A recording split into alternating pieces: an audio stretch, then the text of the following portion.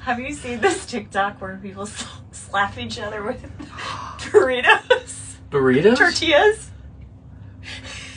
No. You take a mouthful of water, and then each person, you do Oh, rock, paper, supposed to spit scissors, and the person that loses gets whacked in the face, and you have to see who can hold the water in their mouth longer. Because you spit it out because you laugh? Yeah. You're getting slapped in the...